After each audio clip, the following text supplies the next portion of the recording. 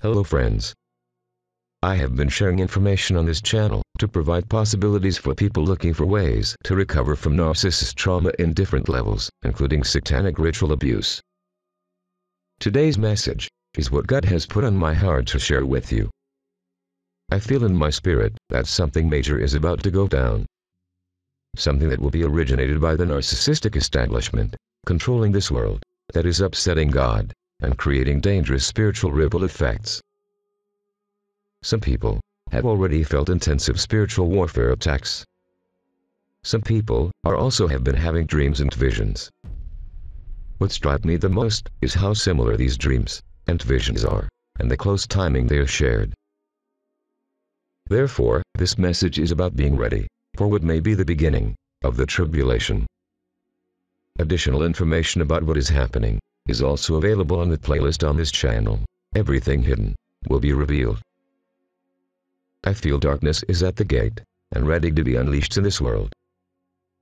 I do not fear it, because God has not given us a spirit of fear. We are children of the light, and united we stand, but divided we fall. Let us unite in our light, and fearless spirit, to rebuke what is at the gate. May the wonderful sermons, by David Wilkerson and Carter Conlon, inspire you to be anointed by the Holy Spirit, and blessed with discernment, protection, and love. God bless you. Please remember truth is freedom. Who is there among us who have not heard, has not heard of the second coming of Jesus? Those of us who believe His Word expect Him to come back to this earth just as He said He left. He's coming back in the clouds just as He left. The Scripture makes that very clear. He's coming one last time, His second coming and last coming. He's coming to catch away His bride. Hallelujah. But few Christians understand the chain of events that are going to happen just prior, during, and after the coming of the Lord. In fact, most of my preaching is focused either on the signs of His coming or the event of His coming. I've preached very little. I called Brother Bob last night and I said, I'm in new territory. I don't think I've ever preached on some of these subjects. And we were commenting how many Bible teachers and prophecy teachers seem to have it all figured out, and they're trying to put everything in place. I'm not trying to figure it all out.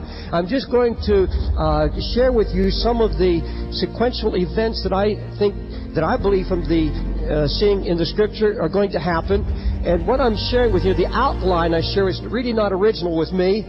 It, I, have been looking for years for an outline of end time events. What's going to happen just prior to his coming, during his coming, and after his coming. What happens to the saint and the sinner? Uh, and I found it in an old book given to me by a great old prophet of God. It was written in 1855 by Isaac Ambrose, and it's called Looking Unto Jesus. And it was a simple outline, and I'm using his outline tonight. Let me take you right into these events, and I'm going to list about five or six of these end time events. I don't know how far I'm going to get uh, because it's just been blessing me just studying it. I feel uh, elevated in my spirit just studying it and thinking about it. And I hope you'll be elevated by the Holy Spirit tonight.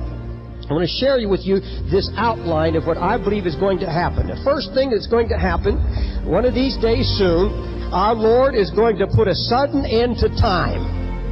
Time shall be no more. You'll find it in Revelation. Don't turn there, but the 10th chapter and the first seven verses of Revelation.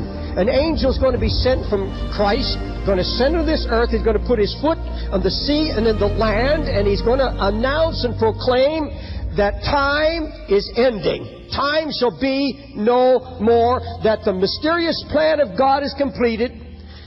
The salvation of mankind is completed. The last prophecy has been given. The last church service has been held. The last soul has been saved that's going to be saved. And he's going to plant his foot on the sea and the earth and announce, Time shall be no more. And I saw another angel come down from heaven. And he set his right foot upon the sea, his left foot on the earth. And he cried with a loud voice.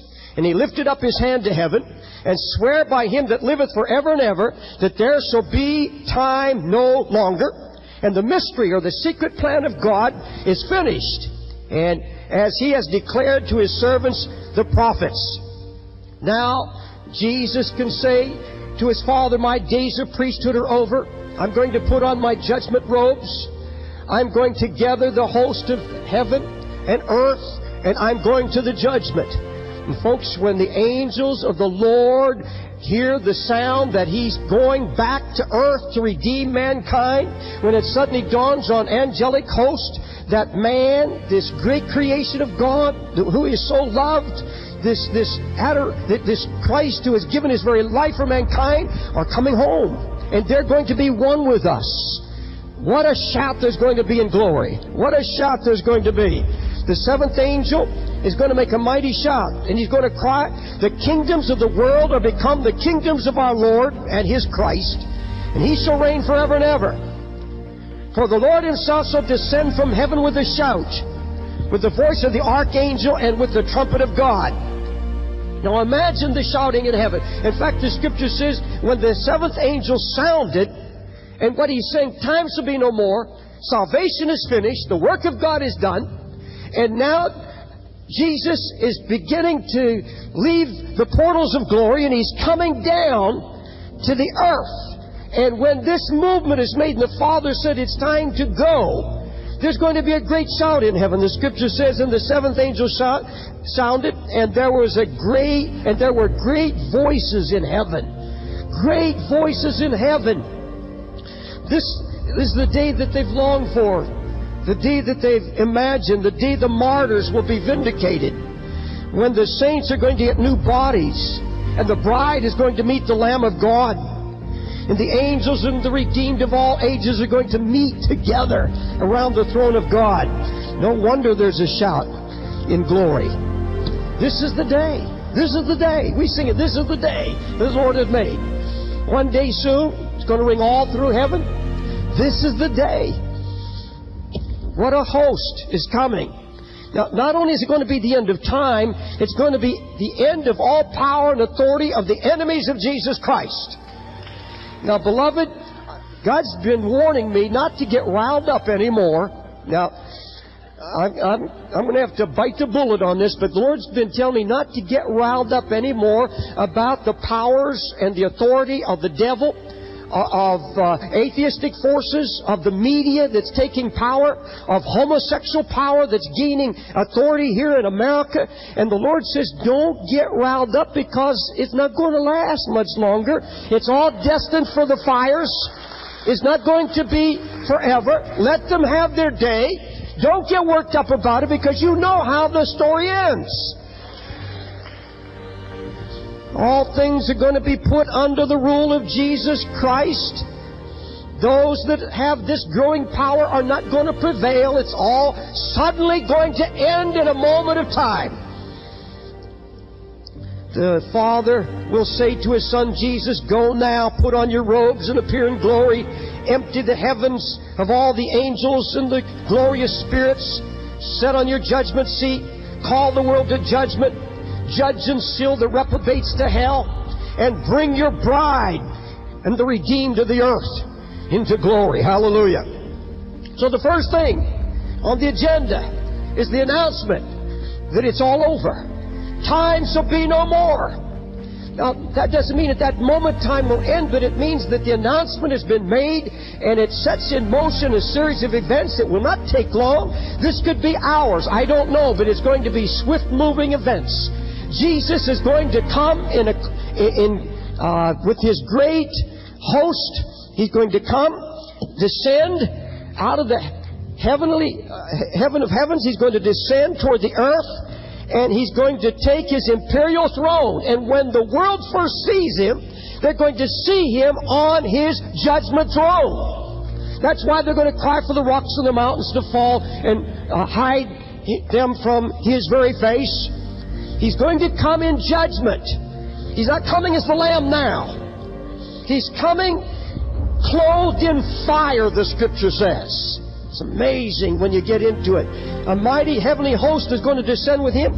All the royal attendants of glory. Heaven is going to be emptied of every angel, every cherubim, every seraphim, all the four and twenty elders. Uh, all of the host of heaven are going to come with him. A great retinue. Behold, the Lord comes with his mighty angels. 2 Thessalonians 1 7. Behold, the Lord will come with thousands of his saints to execute judgment upon all.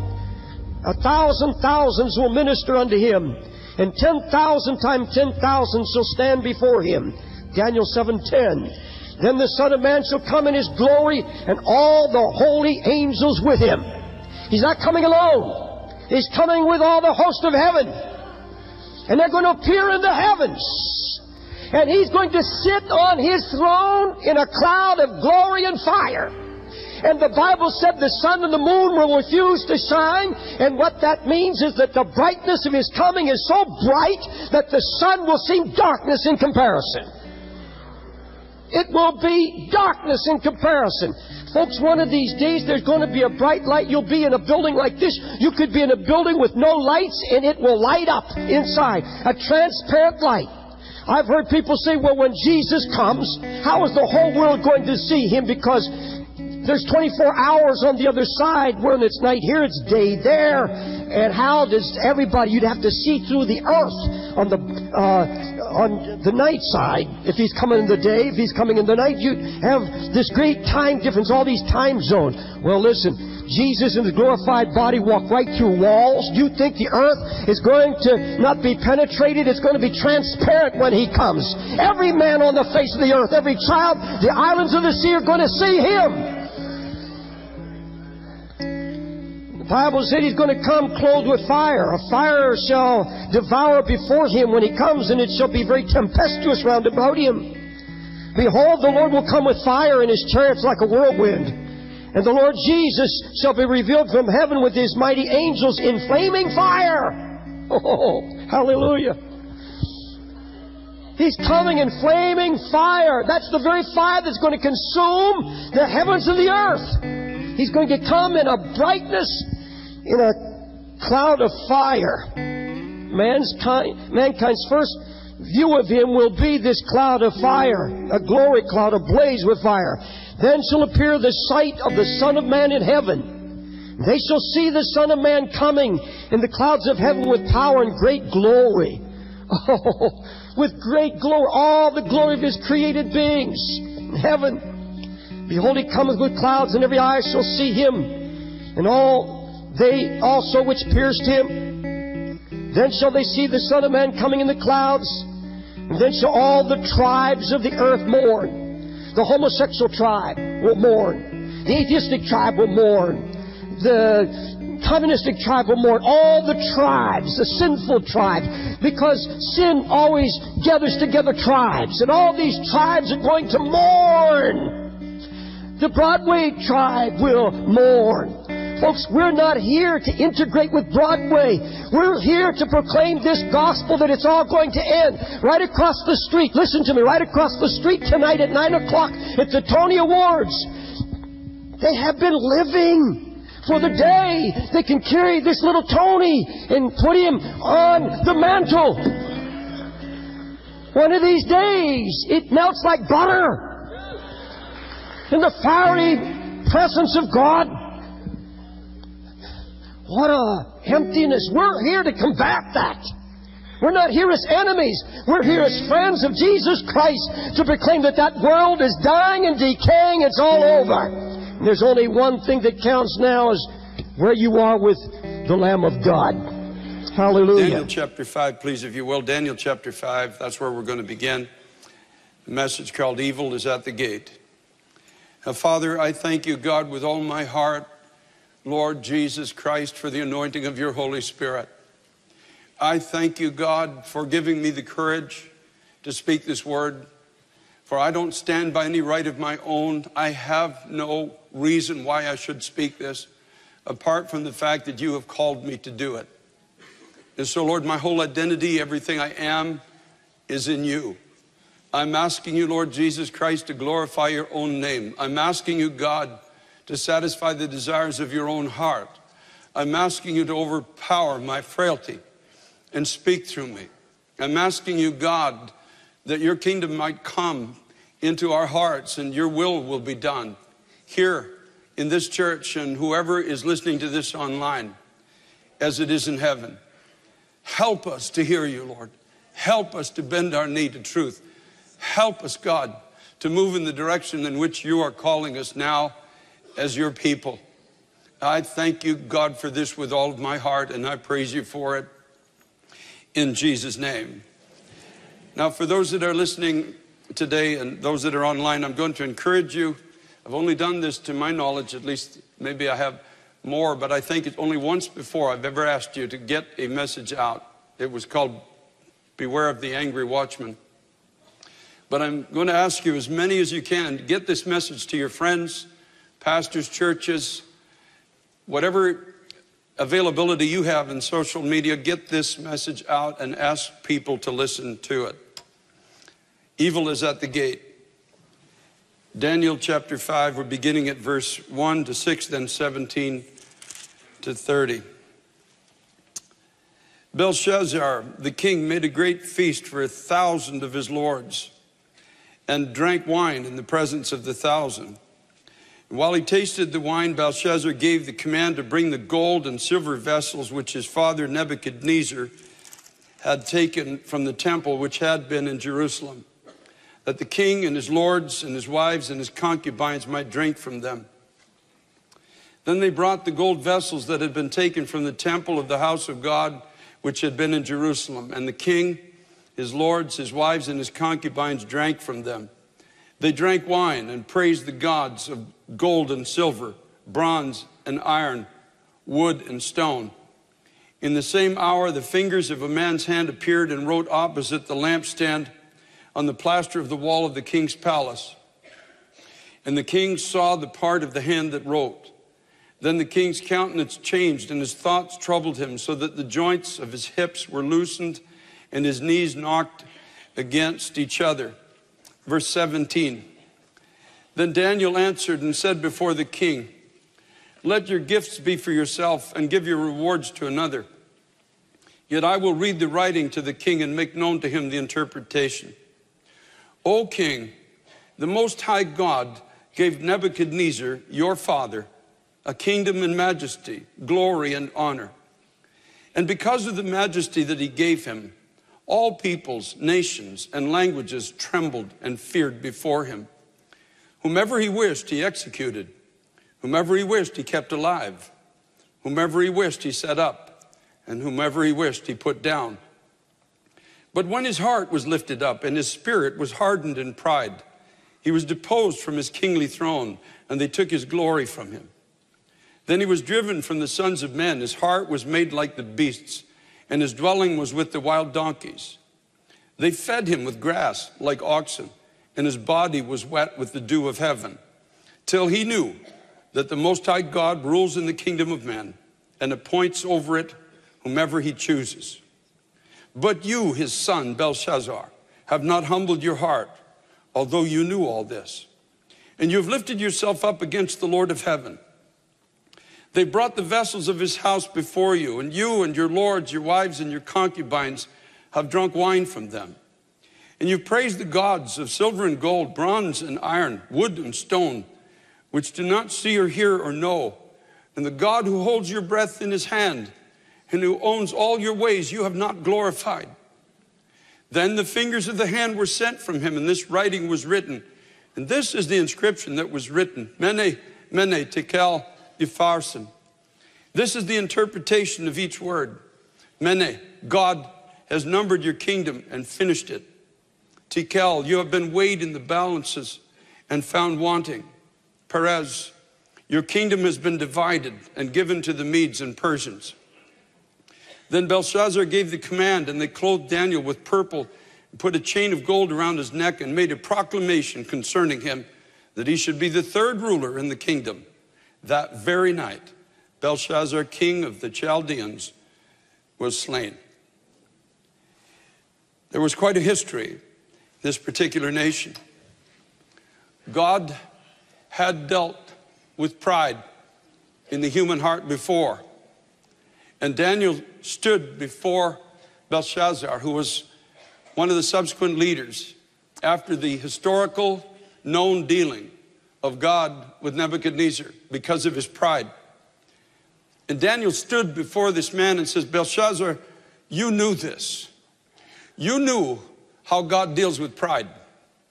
You knew that you cannot ignore God. You cannot deal treacherously with Him and not suffer a consequence for it. But even knowing this, you've not humbled your heart, although it was very clearly pronounced to you. In Daniel chapter 4, verse 17, this is the word that was given to Nebuchadnezzar, his predecessor, whom Daniel calls his father. This decision is by the decree of the watchers, and the sentence by the word of the holy ones, in order that the living may know that the Most High rules in the kingdom of men, gives it to whomever he will, and sets over it the lowest of men. Here was the word to Belshazzar's predecessor. They shall drive you from men, verse 25. Your dwelling shall be with the beasts of the field, and they shall make you eat grass like oxen. They shall wet you with the dew of heaven, and seven times shall pass over you until you know that the Most High rules in the kingdom of men and gives it to whomever he chooses. And inasmuch as they gave the command to leave the stump and the roots of the tree, your kingdom shall be assured to you after you come to know that heaven rules. In other words, Nebuchadnezzar, you exalted yourself above the knowledge of God. You engaged in practices that God has decreed you should not. And because of the pride of your heart, your kingdom, your nation is going to be cut down, although there will be left a stump and it will grow again.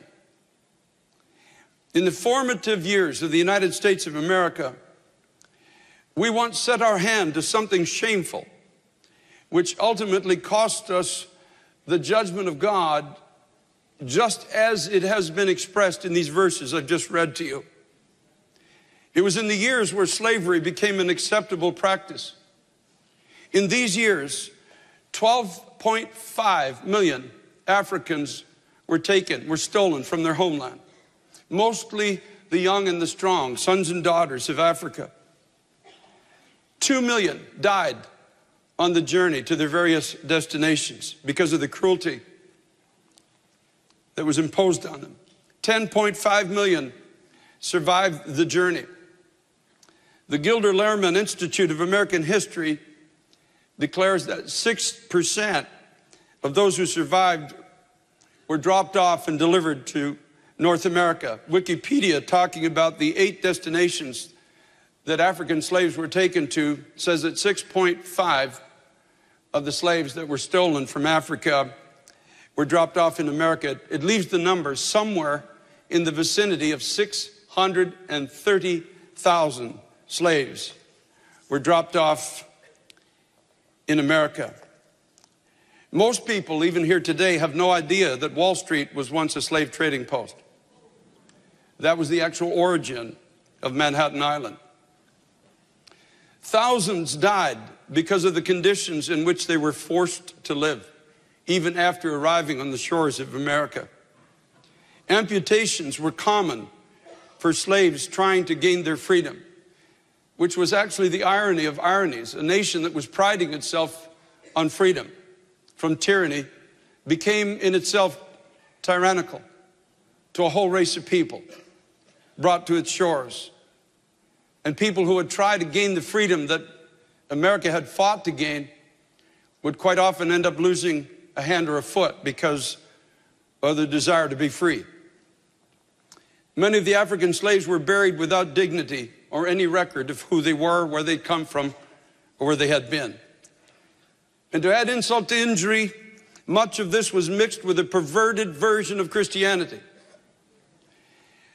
Last summer, I read the biography of Frederick Douglass, who lived from 1818 to 1895. He was a social reformer, an abolitionist, a writer, and a great statesman in the history of this nation.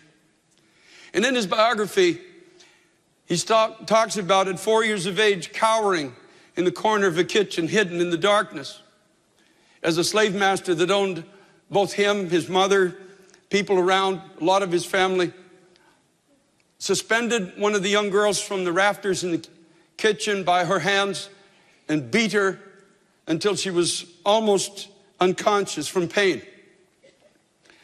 while the whole time coming home every night and talking about the revival that was touching their church in town and how people were being touched by the power of God. And Frederick Douglass concluded at four years of age, Jesus Christ is a fraud and Christianity is a fraud because if Jesus was the son of God, the people who claim to be touched by him would not be treating other people the way this man treats those under his care. It's amazing how over time evil can become good and good can become evil, even among the people of God. Galatians chapter 6 and verse 7 says, Do not be deceived. God is not mocked. Whatever a man sows, that will he also reap. Ecclesiastes chapter 8 verse 8 said, Wickedness will not deliver those who are given to it. And you and I know that the issue of slavery, in great measure, there were some other circumstances, but it was the, probably the predominant one, brought about the Civil War in this country. And President Abraham Lincoln, in his second inaugural address on March 4th, 1865, at the time when both slavery and the American Civil War were coming close to an end, he suggested that the death and destruction wrought by the war was divine retribution to the United States of America for possessing slavery, saying that it might be the will of God that the war continue. And now I quote him, until every drop of blood drawn with the lash shall be paid by another drawn with the sword.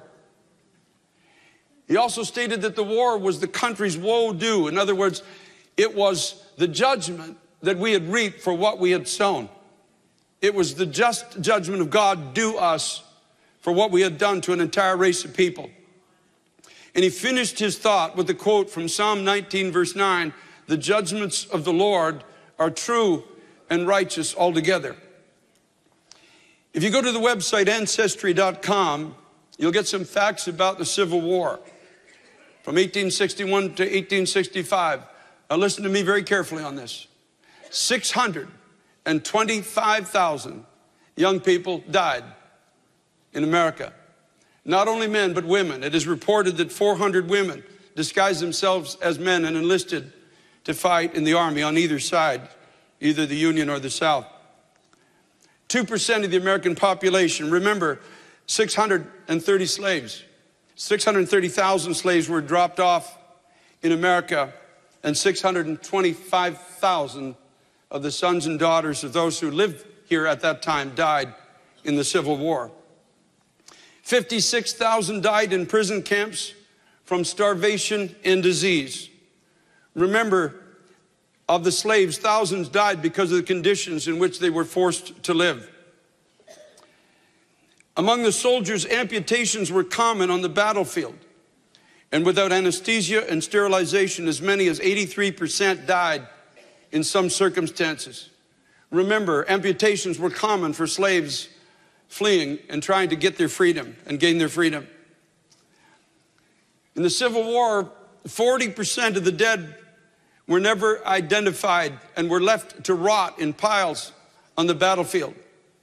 Remember concerning the slaves that many were buried without dignity or record of who they were or where they had come from. And so it brings us back to our opening text.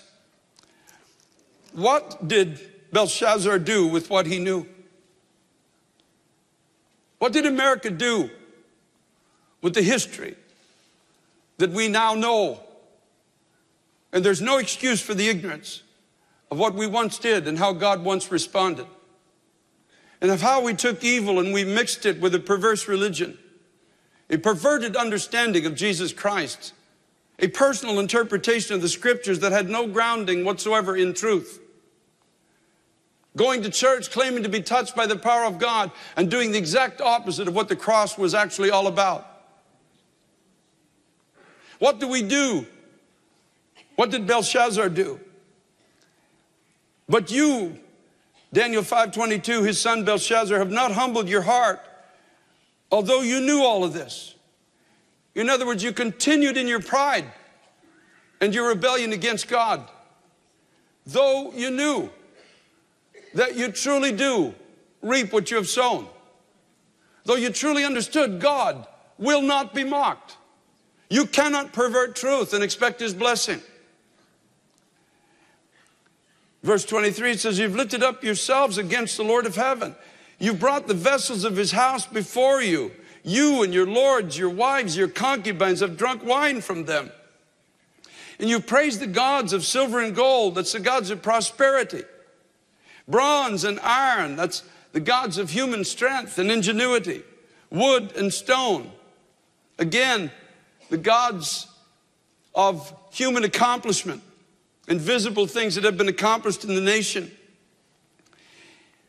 And the God who holds your breath in his hand and owns all your ways, you've not glorified. In this nation, we allowed preachers to be raised up unchallenged, absolute frauds, absolute charlatans who taught the people of this nation that somehow godliness is a means to financial gain, just as the Apostle Paul warned in 1 Timothy in chapter 6. We praise the gods of silver and gold even today. Services where the whole focus is gold and silver human strength and visible accomplishment. And then suddenly, the writing of the hand of God appears on the wall of this nation. And my, my, my, brother, my sister, listen to me. If you can't see the hand of God right now, something is wrong. You just have to look at the character of those that are running for political office to understand what I'm talking about.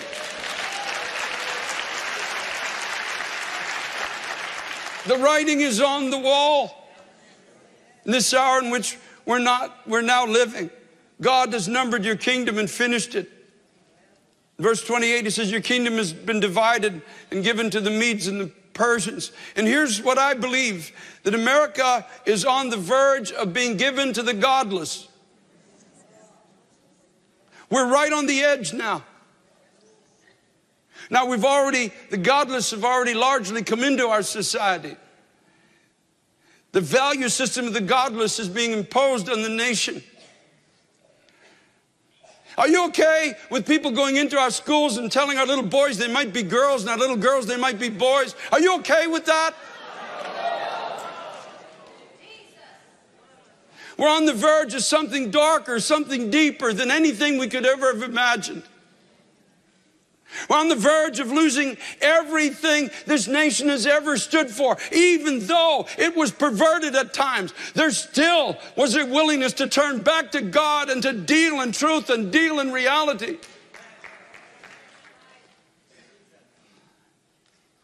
The irony of it all is that Belshazzar was so gospel hardened that he could recognize that the voice was, that was speaking to him was speaking on God's behalf, but he could not bend his knee to it.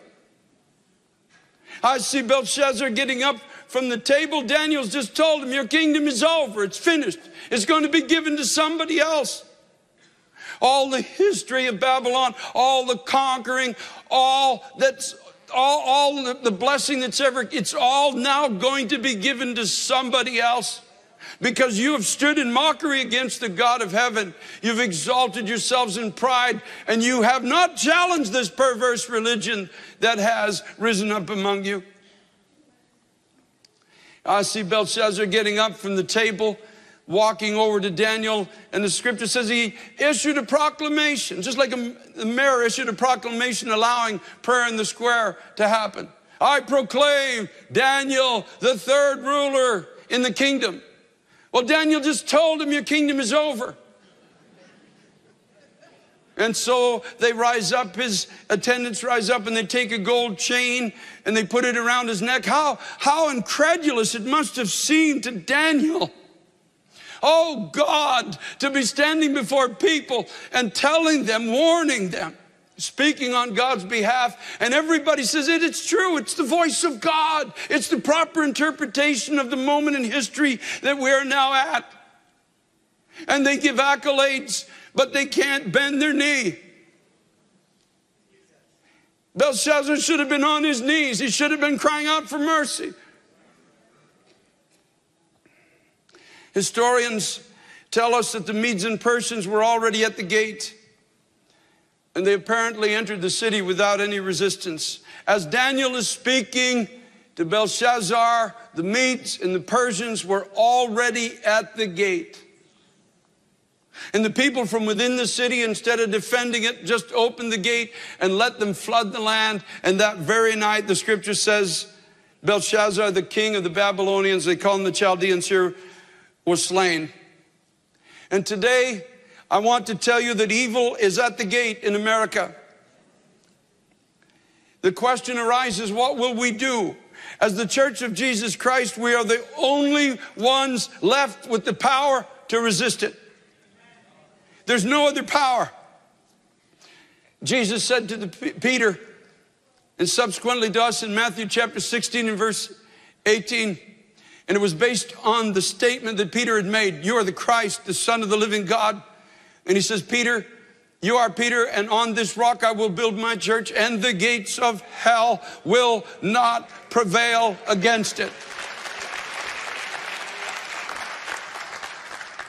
My point this morning is that you and I have the power to push back the darkness. We have the power. We don't have to let the gate open and let this nation be flooded by a darkness that is so unspeakably evil. We don't have to do it unless we choose to, unless we become like Belshazzar and his whole entourage who just agree with the word of God but can't do anything about it. All they can do is decorate the prophets. Talk about, yes, this is God. Yes, this is a man of God. Yes, this is a word from God. But don't do anything. They should have turned to prayer. They should have been up from the table. They should have been calling out the troops. They should have been barricading the gates.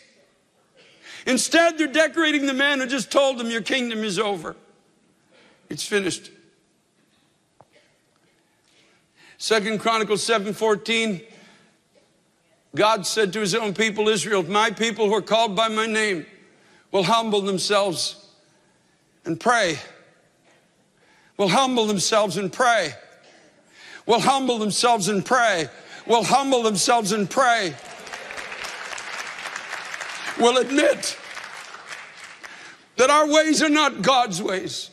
Will admit that we have failed to be a light to this generation. We'll, we'll admit that we've not done what we should do. We'll admit that we've pursued pleasure more than God. We'll admit that our relationship with God has fallen far short of what it should be, or this nation would not be in the condition it's in today.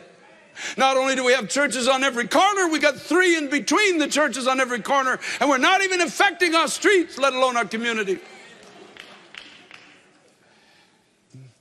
They'll humble themselves and pray and seek my face and turn from their wicked ways. You see, when you start seeking the face of God, you're going to find out not everything in your heart is right.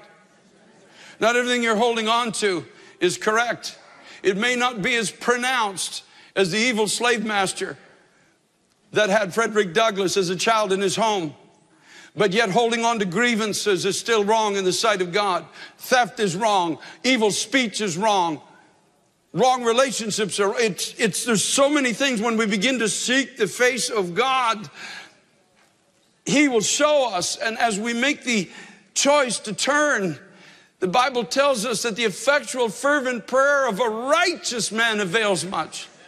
A man or woman that says i'm going with god. I'm going to live for god. I'm, my life's going to be a testimony and i'm going to pray. I'm not going to lay down and let the devil roll over this generation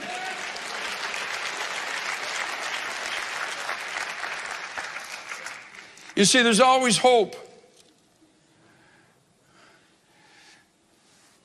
And even though the Medes and Persians did take over that society, Daniel, because he was a righteous man, was technically transported into the next society and given favor. And he became one of the vessels that God used to influence the king, to sign a decree, to let God's people go back to the promised land, begin to rebuild the testimony of the Lord again. And so there's hope, no matter how dark it gets, there's hope for you and there's hope for me.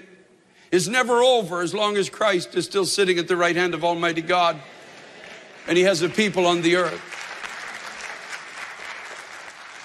But I go back to chapter 4 where Daniel stood before Nebuchadnezzar, Belshazzar's predecessor. And he had just been told that your kingdom is going to be cut down, but there'll be a stump left. The tree is going to be cut down, but there'll be a stump left, and the kingdom will be restored after you've come to know that heaven rules. And Daniel said to Nebuchadnezzar, not to, Nebuchadnezzar, Therefore, O king, let my advice be acceptable to you. Break off your sins by being righteous, and your iniquities by showing mercy to the poor, and perhaps there may be a lengthening of your prosperity. And my plea to the church of Jesus Christ in this nation is turn away from sin. Agree with God. What God says is sin. Agree with God that it is sin and trust Him for the power to turn away from it. And let your heart turn from self seeking and self focus to the needs of others around you. That's why Daniel said, Break off your sins by being righteous and your iniquities by showing mercy to the poor. In other words, Nebuchadnezzar, you're so focused on yourself, you're blind to what the work of God really is. It's about the poor, the marginalized, the disadvantaged, the nobodies and nothings of society. Everybody else is not seen because they can't help their agenda, but God sees them, and that's the center of his heart. It's why he went to the cross. Show mercy to the poor. Get away from the self focus of those that sit and drink wine and praise the gods of gold and silver and bronze and iron and wood and stone. Get away from these frauds and their powerless religion and begin to pray. You know that the Lord has opened up a doorway to this church for a worldwide prayer meeting. And not only worldwide prayer meeting on the internet, but we're now in I don't know how many hundreds of radio stations across this nation now calling this country back to God and back to prayer again.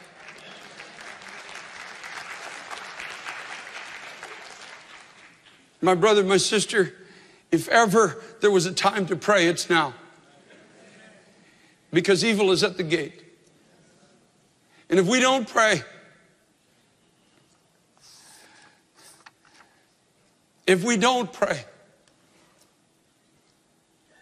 I want to ask you what kind of a country are we going to be giving to our children and our grandchildren? What kind of evil is going to invade the classroom? deeper than that which is already there. What kind of laws are going to be passed? Obligating the church of Jesus Christ to become partakers of this nation's sin. I want you to think long and hard about this because we are at the moment where evil is at the gate. We don't have five years to get this right. Pray that you and I not be like Belshazzar and his company, that we can sit here today or listen online and hear these words and yet do nothing. Pass the tape out. Put a gold chain on the preacher's neck. Declare him or her to be man or woman of God, whatever your case is. But do nothing. I challenge the churches listening to me online that are prayerless. Start to pray. Somebody, for the sake of God and for this nation, somebody somewhere start to pray. If they won't open the building, start in your home. Start a prayer meeting in your home.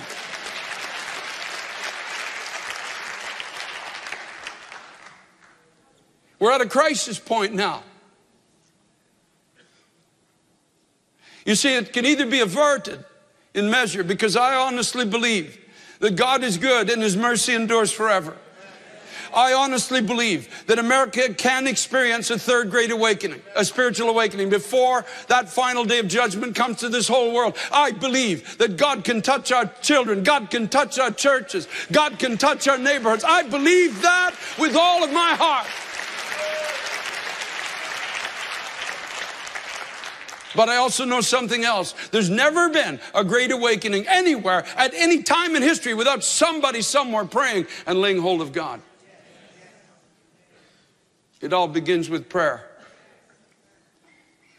And so I challenge you now to pray. I plead with you to pray. I plead with you. God, help all of us to get out of ourselves, our focus on ourselves. Everything is about ourselves. Help us, Lord God, to understand there's a, a greater battle at hand, and there's much more at stake today than we realize. We're only months away, if we don't pray, from being in a position where we wished we had. We have the power. Do you understand? We have the power to tread on serpents and scorpions and over all the power of the enemy. We have the power to move mountains and command them to be cast into the sea. We have promises from Jesus Christ Himself that whatever we ask, believing, we shall receive. We're not powerless. We, we are not just spectators watching this godless parade go by. We have the power to hold the gates because the Bible says the gates of hell cannot prevail against the church of Jesus Christ.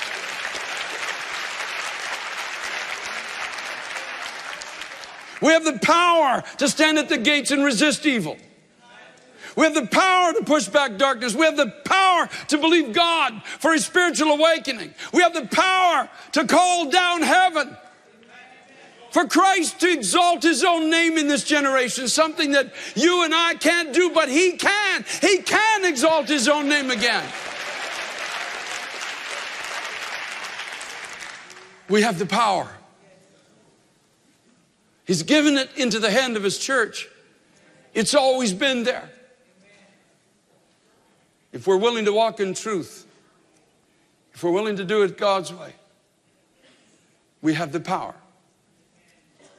He has provided to us everything that we need. He's given us His blood to cleanse us from all sin, to, to break the chains as we sang this morning, and to set us free He's given us the power to live in freedom. He's given us the power to walk away from that which captivates the hearts of un ungodly men and women. He's given us the power to live a new life. He's given us promises to be everything that God declares that we should be. We have no excuse to live in spiritual poverty. It was all done on the cross for us. And He left us here as co laborers with him to win a harvest and to bring glory to his name. And I happen to believe that we do not have to surrender this nation or this city into the hands of darkness. I believe that with all my heart. I'm not living a pipe dream. I know who God is. I know what He's done in my life. I know what I've seen Him do, do throughout the world. I've watched Him at work. I know His heart. And so I plead with you pray. Walk righteously, otherwise, your prayers are pointless. You imagine that man in Frederick Douglass's owner, as it was back then, going back to church. You imagine how futile his foolish, stupid religion was, how powerless his prayers were, how much of a delusion his supposed touch of God coming on his life every night was. No, when we choose to walk with God, we choose to live His way. If that man had been reading his Bible, he would have seen that what he was doing was wrong. If he was willing to read it the way it was written.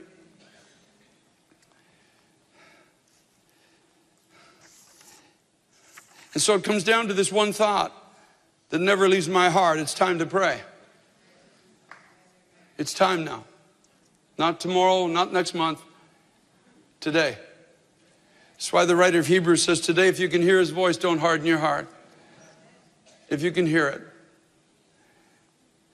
I brought this message to you from the heart of God today as a plea. Remember, in the book of Ezekiel, the Lord said, I sought for a man that I should not have to judge the nation, but couldn't find one.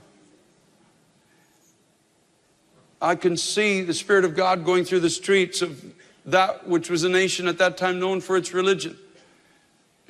Will you stand, sir? Will you stand, ma'am? Will you stand with me? Will you stand with me? And the people were just probably so busy as we are today. Oh, I've got children to raise. I got groceries to get. I got a job I got to go to. I work long hours. Will you, sir, stand and you can hear God pleading to not have to judge the nation, but everybody is finding an excuse unaware of the moment in history that they're living in. But by God's grace, As Paul the Apostle said to one of the churches, in my heart, I have a vision of better things of you. And I believe that in this room and online, there are men and women who will take seriously this call, who will not put this plea from the Holy Spirit away, who will understand that we do live in perilous times, who will get up and say, I will go to the gate. I will go and I will stand. And I will intercede and I will trust God for the strength to push back the plans of darkness, to destroy our society. I will.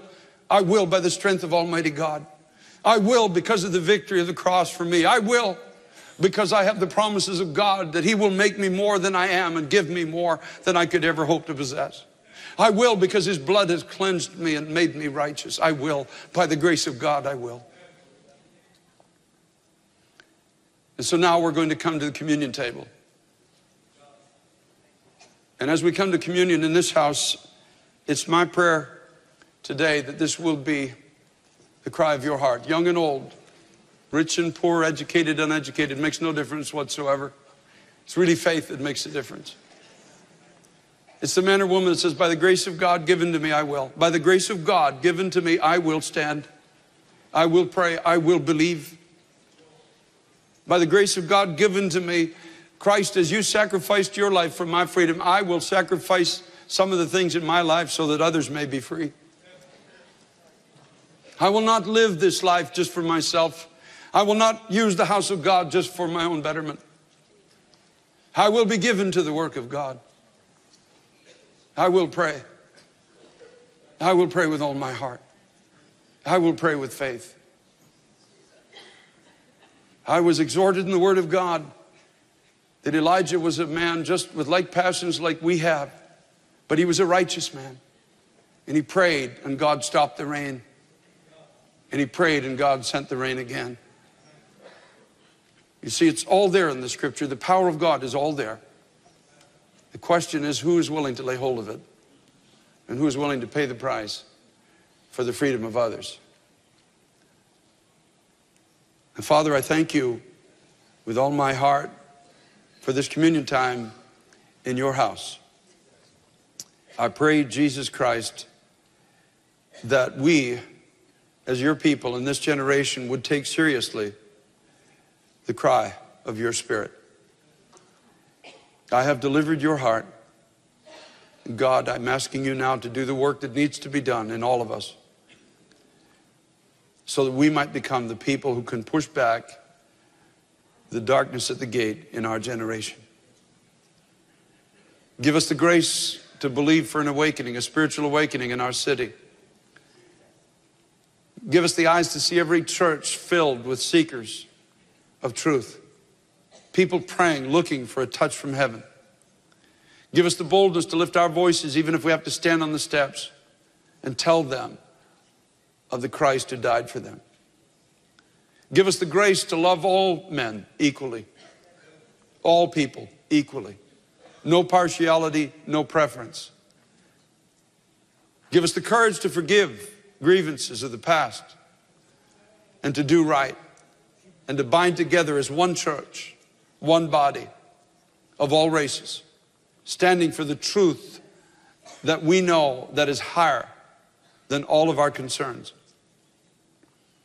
God, we thank you for this. Let this communion moment in this church and online be a holy moment for this house and for this nation. And we ask this in Jesus' name. If you could hold on to the bread and the juice today till everybody has received it, and then we will partake of it together before we go today.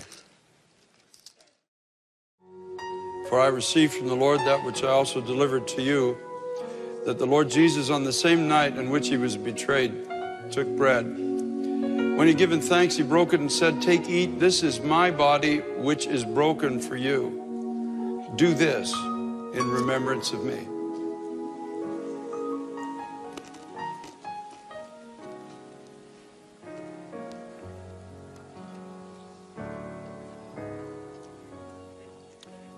In the same manner, he also took the cup after supper, saying, This cup is the new covenant in my blood. This do as often as you drink it in remembrance of me. For as often as you eat this bread and drink this cup, you proclaim the Lord's death until he comes.